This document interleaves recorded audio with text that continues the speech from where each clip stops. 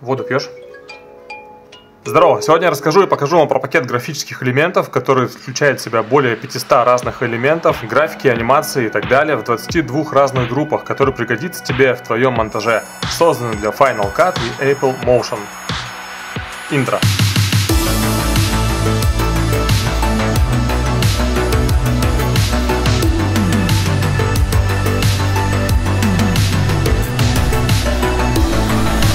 Сразу же скажу, что этот пакет платный, и я не призываю тебя покупать его. Я просто расскажу тебе, покажу, что в нем есть, для чего он нужен, а ты уже сам примешь решение, стоит ли тебе покупать его или нет. С прошлого года я сотрудничаю со студией Digital Product 669. Ребята выпускают интересные плагины, титры, транзишены, графические элементы, переходы. Все для Final Cut, Apple Motion. И у меня уже было большое видео на моем канале про большой пак титров от этих ребят. Там есть все от переходов до коллаудсов, от каких-то тоже графических элементов до оверлеев. И судя по отклику на этот видос э, по личным сообщениям мне этот пакет вам зашел. Так вот, они периодически подкидывают мне на тесты свою продукцию, чему я, конечно же, не могу не радоваться. И их пакет можно прикупить на ресурсе Envato Market, как разово, так и оформить подписку за 16,5 долларов. В подписке ты получишь там что-то миллионы каких-то футажей, стоковых там фотографий, музыки, плагинов, все, что связано с монтажом, с графикой, анимацией. Сам я подпиской, естественно, не пользуюсь, я пользуюсь другими подписками на других ресурсах, и мне, в принципе, хватает. Поэтому рекомендую тебе ознакомиться сперва с условиями а, подписки, а потом уже принимать решение, нужна она тебе или нет. Потому что подписка ежемесячная, естественно, деньги будут списываться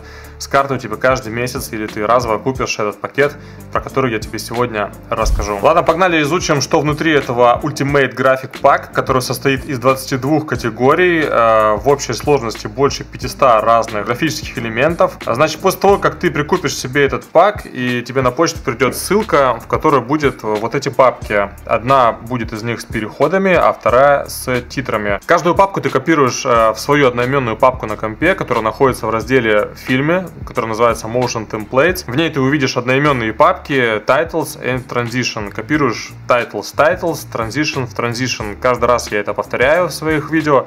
И, тем не менее, каждый раз вы продолжаете у меня в личку спрашивать, как установить титры, как установить транзишены. Да, бывают некоторые запарные, но здесь самая простая установка, которую я только видел, стоит только скопировать их в папку и все готово. Дальше неплохо было бы, если бы ты все-таки глянул файл readme, а, там ты увидишь ссылки на шрифты, которые надо будет установить для полной корректной работы этого пака. Естественно, ты можешь пользоваться своими шрифтами. Также в файле Redmi ты найдешь а, подробную инструкцию по установке. Там на самом деле все на картинке показано, все просто. И, кстати, там смотри, там внизу есть ссылка, чтобы не устанавливать все шрифты подряд. Э, есть ссылка на архив, где ты можешь скачать все разом одним архивом. Разумно. После установки во вкладке титры у тебя появляется раздел The Ultimate Graphic Pack. В нем около 23 разделов с графическими элементами, иконками, типографикой, титрами, всякими слайд-шоу элементами, всякими вставками, оверлеями, шейповой анимацией и все такое прочее. Переходы находятся в меню Transition. Вот здесь справа внизу появляется раздел с переходами, который также и называется Ultimate Transition Pack. В нем также около 20 разделов с разными видами переходов. Если честно, от некоторых из них меня уже реально тошнит. Я не знаю, почему их до сих пор вставляют. Они, возможно, до сих пор остаются модными, но я, если честно, рекомендую ими а, не увлекаться, потому что сейчас тренды в монтаже долго не задерживаются, поэтому некоторые категории я тебя прошу не увлекайся ими, а делай только тогда, когда это действительно нужно, когда это подходит по стилю к твоему видео. Первый раздел, пожалуй, наиболее любопытный для нас, он называется 3D Device, и исходя из названия мы видим в нем 3D модели разных устройств. В этом разделе есть несколько видов всплывающих телефонов, модель уж очень похожа на iPhone. Также помимо него ты здесь найдешь мониторы ноутбуков, часов, тут какие-то вот наушники есть. А, радует то, что каждый из них анимирован по-своему, и вместе с ним анимированы появляющиеся титры и фоны, на котором появляются модели. Естественно, все титры можно менять, писать свои, также изменять цвет, дизайн, размер. И самое главное, что ты можешь легким движением вот в этом месте вмачить свое изображение. Минус в том, что картинка, которую ты показываешь, добавляешь, должна быть статичная, то есть это либо скриншот из видео, либо фотография. Вот здесь ты можешь поменять ее размер, размер и положение в телефоне. Жмешь вот на этот квадрат, выбираешь шот с таймлинии и жмешь Apply клип, добавить клип. Все, готово. Смотрим, что получилось. Но видишь, э, даже если ты выбираешь типа видеоклип, он все равно остается статичным. Где ты будешь применять, уже реши для себя сам. А дальше из любопытного следующая категория, которая мне реально понравился, это спектры аудио. Здравствуйте, я приехал тут, около ветряка встал. Это такие элементы, которые имитируют эквалайзер. А, также скидываешь его на таймлинию, как корректирующий слой, вот так перетягиваешь. И в настройках вот здесь вот э, меняешь показатели. Важно понимать, что эквалайзер не будет подстраиваться под частоты твоих звуков э, в видео, а что это просто анимированный, уже готовый с импульсами и движениями титр. Но ты можешь самостоятельно изменять его амплитуду, движение вот в этих подстройках. Все они также анимируются ключевыми точками. Очень удобно. Ну, естественно, ты под свой трек не подберешь. Лучше это сделать в Apple Motion. Практически в каждом эквалайзере ты можешь также добавить свое лого, кадр, либо видео э, или картинку. Делается также просто жмешь вот в этот квадрат и дальше все как в предыдущем титре про телефоны. Здесь есть, значит, 10 разных эквалайзеров, их реально можно использовать. Недавно я хотел сделать видео с подборкой своих любимых треков для монтажа.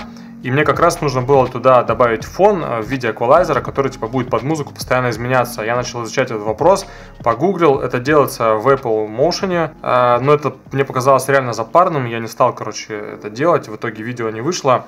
Но сейчас применяю вот этот эквалайзер, я думаю, что я все-таки запилю такой видос с, например, топ-10 моих любимых треков для монтажа. Если тебе такое нужно, маякни в комментариях. Дальше у нас бэкграунды. О них коротко, потому что такое видео уже было. Вернее, про них я рассказывал в прошлом видео, как раз там, где было овер дофига титров. Здесь все так же изменяются все настройки, цвет, скорость, э, какие-то элементы, которые используются в бэкграунде. Это удобно, это можно применять, позже покажу где. Например, в открывающихся фрагментах видео или как подложку для лого или текста титра. Я иногда сам такое использую.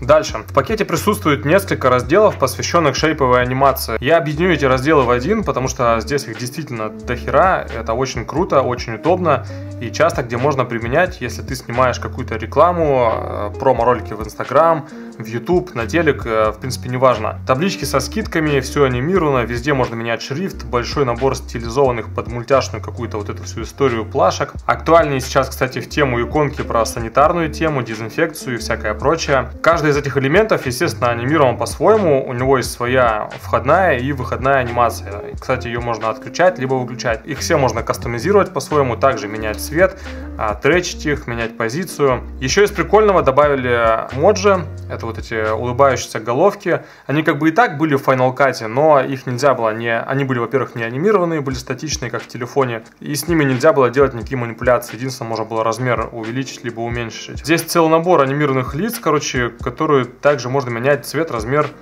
И вот видишь, да, держи рот на замке.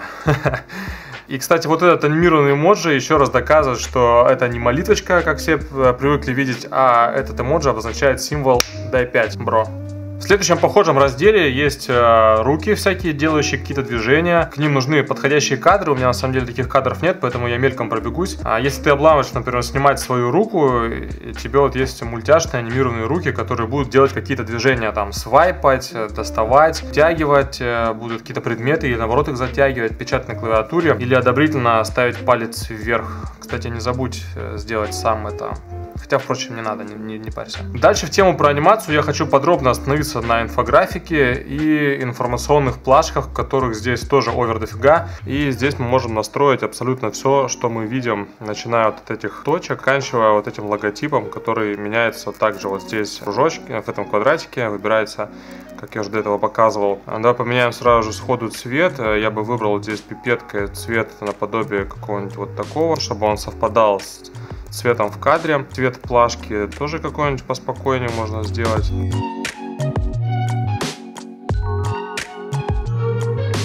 В настройках можно увеличить все шейпы, которые есть. Это вот размер этой плашки можно увеличить. Саму плашку, которую под титром можно увеличить. И все-все-все. Можно убрать выходную анимацию. То есть просто он будет заканчиваться раз и все. Следующее, про что я хотел бы рассказать, тоже интересная вещь. Это инфографика.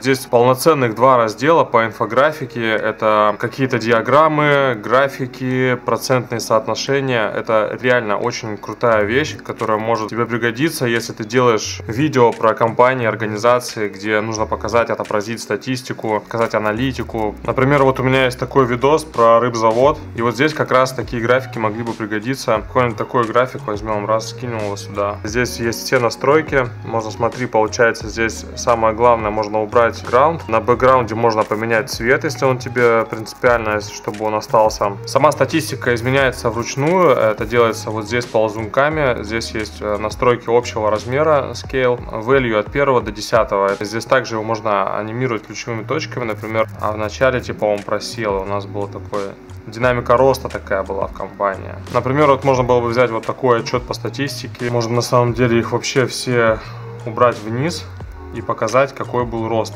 Мы знаем в цифрах, вот так все убираем, ставим здесь ключевые точки, проставляем, смещаем ползунок и делаем рост, какой у нас был. Видишь, цифры сами меняются. Это, кстати, круто.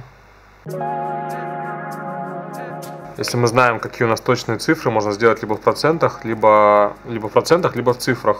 Дальше смотрим, что получилось.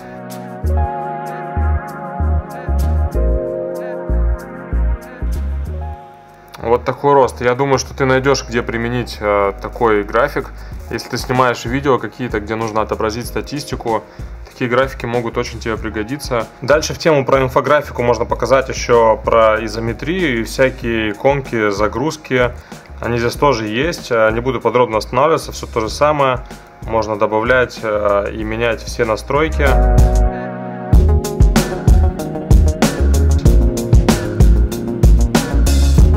Довольно прикольный графон, на самом деле он такой э, ресурсозатратный, вот у меня даже сейчас подтупливает, потому что он просит, чтобы прорендерился и немножко подвисает. И последних несколько разделов тоже очень интересные, это раздел для социальных сетей, анимация появления тут для YouTube каналов, там что-то подписки всякие, для Instagram, боковые всякие вот такие вещи. Да, если у тебя есть свой ютубчик, можно вот так делать такую анимацию. Добавить сюда вот так свою фотку и типа подпишись. Если ты, не дай бог, ютубер, то можешь вот такое вот поиспользовать.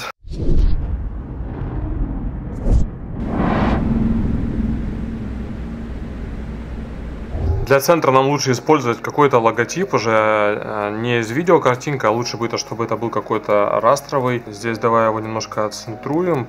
Желательно, чтобы оно было круглое, да. Втором, это у нас background image. Смотрим, что из этого может выйти. Да, вот если мы, например, делаем какой-то видос про Саревы, да, очень в тему, он у нас продолжает движение.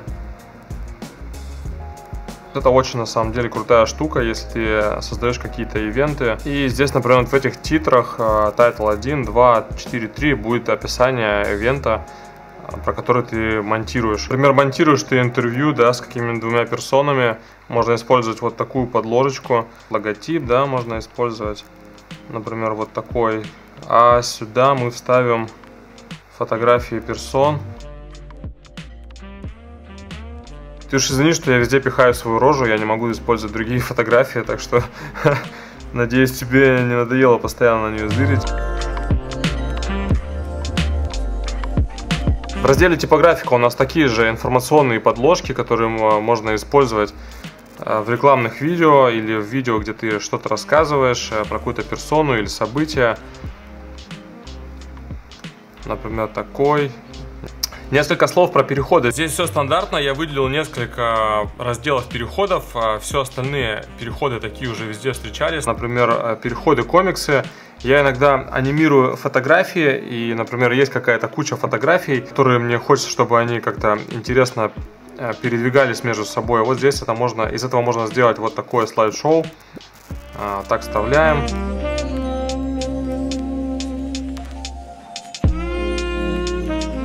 Так, смотрим, что получилось.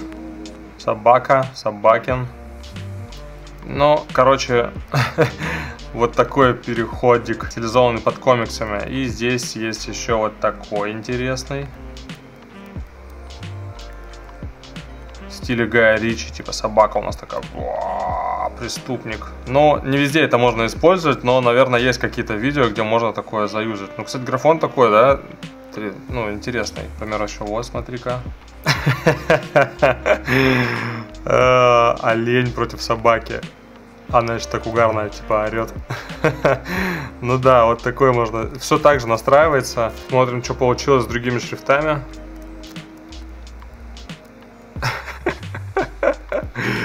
ну да, наверное, где-то можно применить. Ну, нет, что, прикольно. Ну что ж, вот такой вот uh, Ultimate Graphic Pack для Final Cut X и Apple Motion. На сегодняшний день пакет стоит в районе 40 долларов, 39, если быть точным, по курсу 75 рублей. Это на самом деле не очень дешево, может быть и не очень дорого. Решать тебе, также тебе нужно понять, нужно он тебе или нет. Не торопись покупать его э, до того, как ты не поймешь вообще, где ты можешь использовать такие шрифты, такие корректирующие слои, такую графику. Слишком не заостряя внимание на переходах, они не всегда нужны. А, я все-таки топлю за какие-то прямые склейки, а, монтажные, интересные какие-то решения, а не вот эти все переходы. Их нужно использовать в определенном сегменте видео, так сказать. Ну а тебе хочу пожелать, как всегда, хороших кадров, быстрого монтажа. На этом все. Пока.